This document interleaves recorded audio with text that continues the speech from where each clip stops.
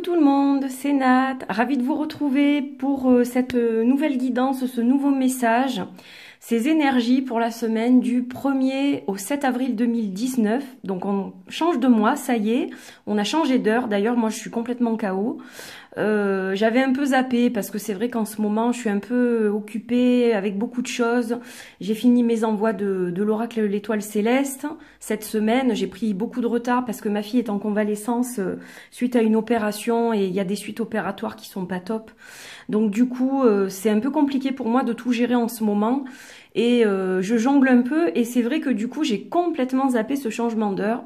Je me suis réveillée ce matin, je me suis dit, oh là là, mais je suis bien fatiguée. Euh, pourtant, il est quand même 7h30, mais non, en fait, il était 6h30. Je me suis endormie assez tard, donc du coup, voilà, je suis un peu KO. Ça ne m'empêche pas du tout de faire cette guidance. Alors, on va commencer justement pour euh, être un peu plus zen par un petit peu de carillon.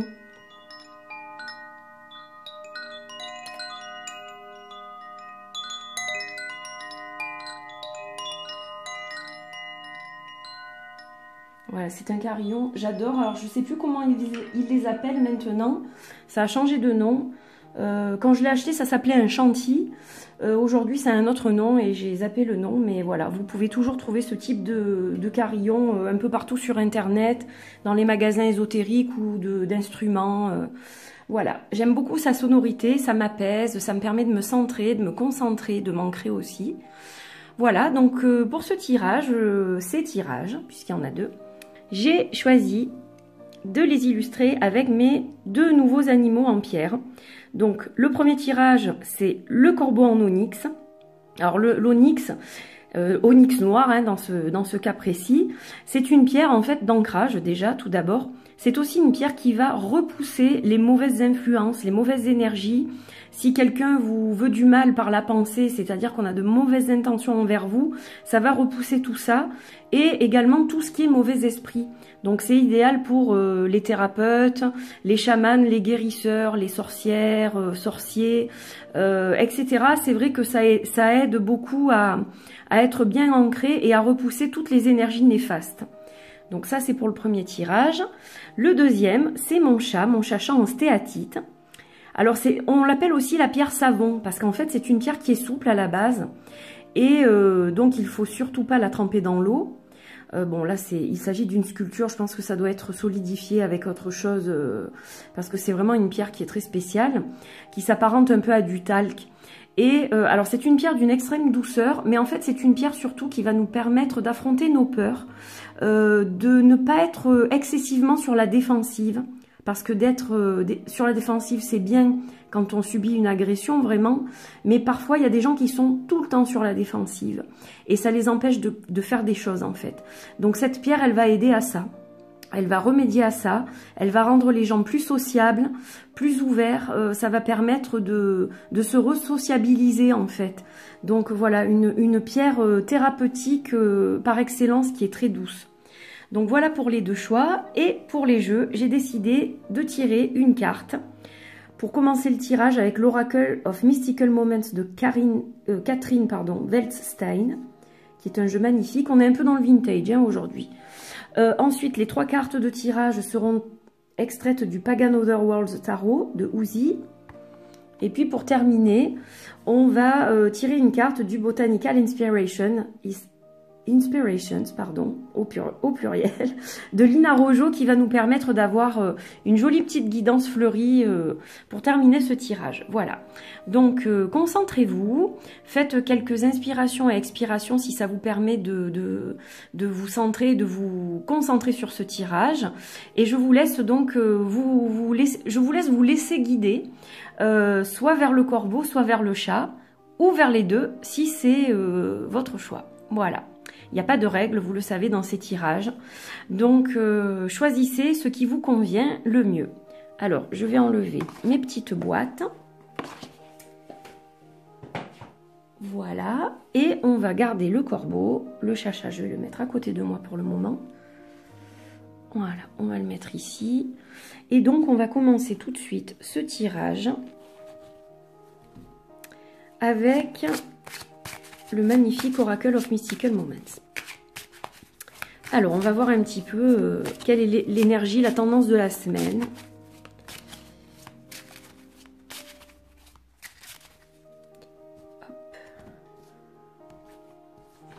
Alors, qu'est-ce qu'on a? Hop, on a abracadabra. Ah, alors, cette semaine, c'est placé sous la magie la plus pure. Cette semaine, si vous, devez agir, si vous voulez agir, vous n'avez qu'à le souhaiter pour entamer une action. Abracadabra, c'est vraiment je me prends en main et je fais les choses et j'y arrive. Quand on s'accroche, quand on y croit, on peut y arriver. Donc là, il ne tient qu'à vous de d'exercer votre magie en fait la semaine prochaine. C'est vraiment ça le message que je ressens en regardant cette carte. C'est un, un tirage intuitif. C'est-à-dire que je ne m'appuie pas du tout sur le livret, je m'appuie sur ce que je ressens. Donc là, je vois en gros une magicienne qui est en train de jouer avec les constellations, avec les étoiles, et c'est exactement ce que vous allez faire la semaine prochaine. Euh, vous allez arriver à concrétiser euh, ce, dont vous avez envie, dans la mesure évidemment euh, du possible et du raisonnable, hein, on est bien d'accord. Mais voilà, ça va marcher si vous y croyez, si vous vous accrochez, vous allez réussir à faire plein de choses. Donc c'est une très jolie carte pour démarrer. Alors par contre ça brille pas mal, je suis désolée, c'est à cause du spot. Mais sinon on n'y voit rien du tout. Parce qu'à cette heure-ci, j'ai pas trop de soleil dans mon bureau. Donc c'est un peu compliqué. Allez, on va maintenant tirer trois cartes du Ouzi. Magnifique, euh, pas Ouzi, mais vous avez compris, le Pagan Otherworld Tarot. En fait, le nom des artistes, je les retiens jamais, mais bon, ils, euh, Uzi, c'est leur, euh, leur marque, en fait, leur brand. Leur brand, comme on dit en anglais. Allez, hop, hop, hop. Alors, qu'est-ce qu'on a de beau cette semaine? Hop, hop, hop, je les étale bien. Allez. Alors, on a le 2 de coupe. On a le 8 de bâton. Et, l'as de coupe. Ah, c'est un super tirage, ça, dis donc. Alors, donc, déjà, le 2 de coupe, il y a quelque chose qui se, qui se produit là. C'est quelque chose qui vous tient à cœur. Il y a, quelque chose de, de vraiment euh, lié à l'émotion au plus profond. Hein, vous voyez ces deux, deux tas de rochers qui, qui se rejoignent comme ça.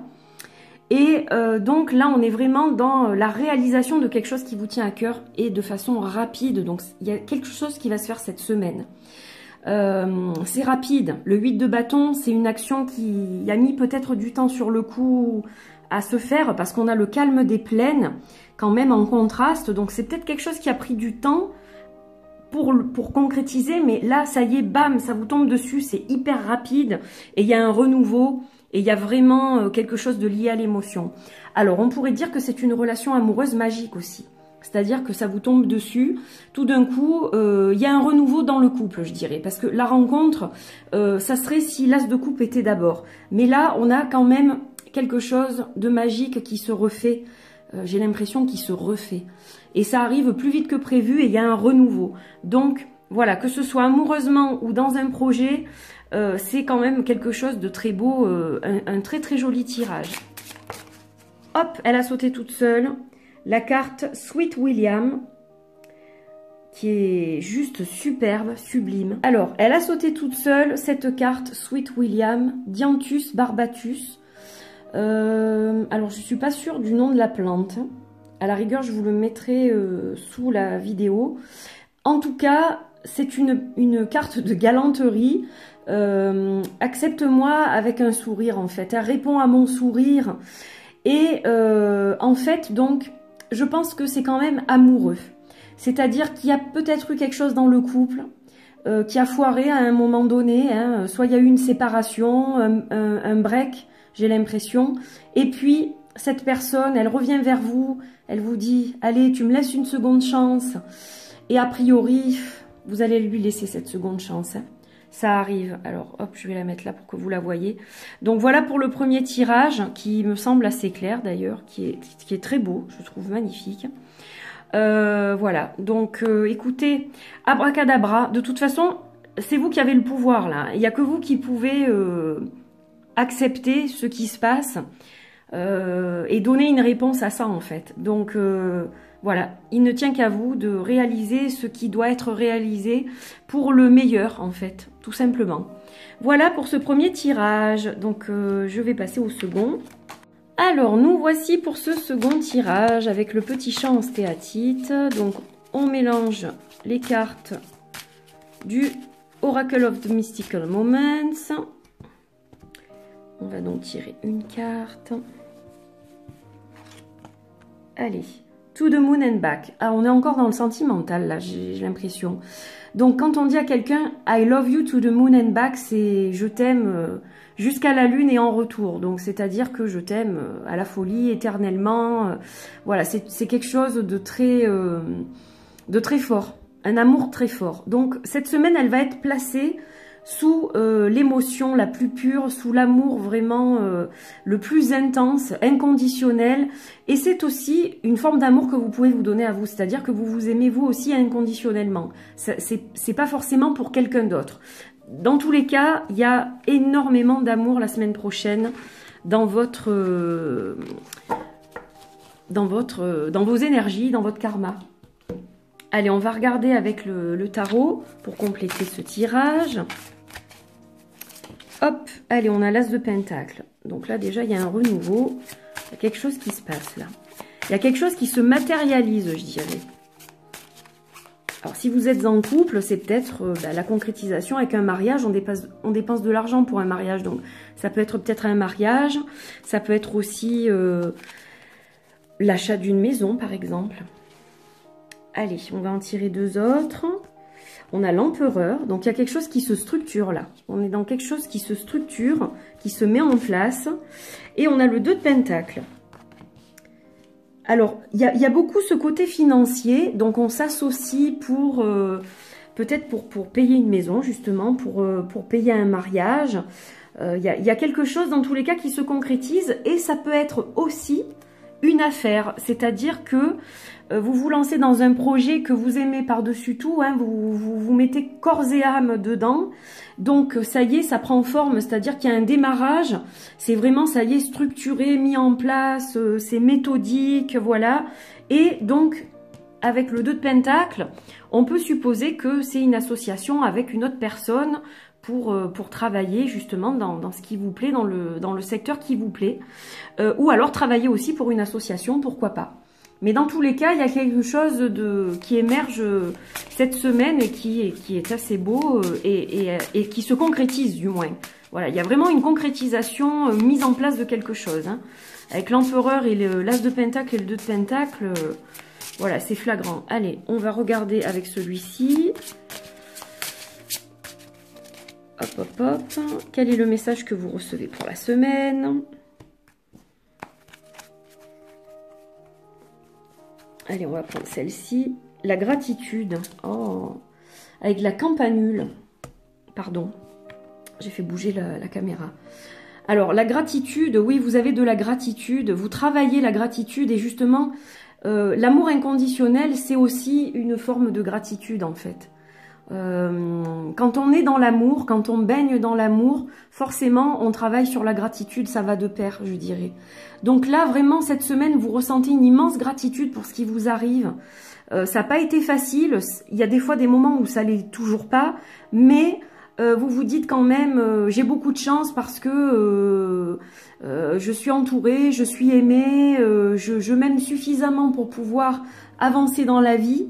Euh, je me donne de l'amour au quotidien et en plus de ça, j'ai une immense gratitude pour ce qui arrive parce que c'est le résultat de longs mois de travail. Euh, donc voilà, vous allez être dans la pratique de la gratitude et de l'amour inconditionnel la semaine prochaine. C'est vraiment ça qui ressort et donc quelque chose qui se structure, qui se met en place. Donc, eh bien, mariage, euh, achat de maison, euh, achat d'appartement, euh, déménager ensemble. Donc, ça engendre aussi des frais. Hein, on est dans les pentacles, donc pourquoi pas. Dans tous les cas, vous vous ancrez dans quelque chose qui vous correspond. Voilà, c'est aligné. On est dans l'amour, dans la gratitude, donc c'est aligné et vous vous ouvrez à de nouvelles perspectives. Voilà pour ce deuxième tirage, donc j'espère que ça vous parle.